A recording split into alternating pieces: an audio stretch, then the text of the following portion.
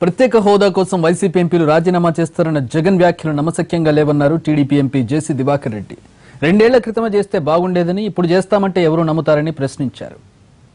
ఇప్పటికే రెండు సంవత్సరాల క్రితమే మేము వెంటనే రాజీనామా చేస్తున్నాం అనేటువంటి మాట వాళ్ళు వాళ్ళ ఎంపీలు కొంతమంది చెప్పారు తర్వాత వాళ్ళ నాయకుడు జగన్ గారు కూడా చెప్పడం జరిగింది. కానీ దాన్ని ఆచరణలోకి తీసుకొని అసలు ఆయన చెప్పిన మాటని ఎవరు నమ్ముతారు ఎక్కడ నమ్ముతారు?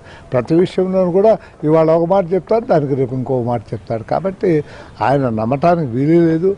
దాని తోడు ఇవాళ ఇస్తున్నాము ఈరోజు పోయి ఇస్తున్నామంటే దానికి ఒక ఎఫెక్ట్ ఉండేది కొంత ఆలోచన చేయాల్సినటువంటిది మాకు అందరికీ ఉండేది.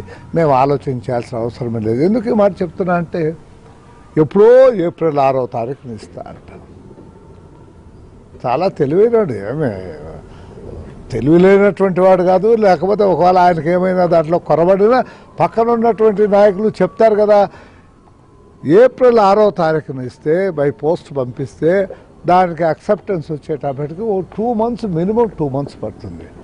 తర్వాత నోటిఫికేషన్ నోటిఫికేషన్ ఇవ్వాలని ఎలక్షన్ కమిషన్ ఆలోచన చేసినా ఇప్పటికే ప్రెసిడెంట్ గారు చాలా క్లియర్గా ఎన్నికలు జరపాల్సినటువంటి అవసరం జమిలీ ఎన్నికలు జరపాలి అన్ని ఎన్నికలు జరపాల్సినటువంటి అవసరం ఉంది అనేటువంటి మాట ఆయన చాలా స్పష్టంగా చెప్పాడు.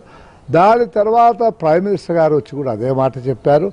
అందరము మేము ఊహిస్తా ఉండేది నవంబర్ డిసెంబర్లో ఎలక్షన్లు వస్తాయని. ఆరు నెలలు ఉంది ఏడు నెలలు ఉంది భారం ఎందుకు గవర్నమెంట్కి అని చెప్పి ఎలక్షన్ కమిషన్ ఎట్లాగో ఎలక్షన్ జరపదు. అంటే రాజీనామా చేసినా కూడా ఎలక్షన్ రావు. జరపదు.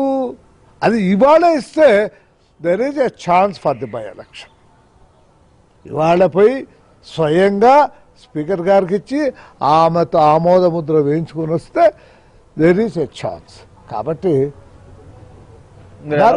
ఇవన్నీ ఊరికే నమ్మడానికి కాదు. ఏదో ప్రజల కంటి తుడుపు కోసం ప్రజల కోసం చెప్పేటువంటి మాటలు చిత్తశుద్ధితో చేసేటువంటి ఇది కాదని పై చేయి సాధించడానికి ఏం పై చేయి సాధిస్తారండి? పై చేయి సాధించింది మేమే.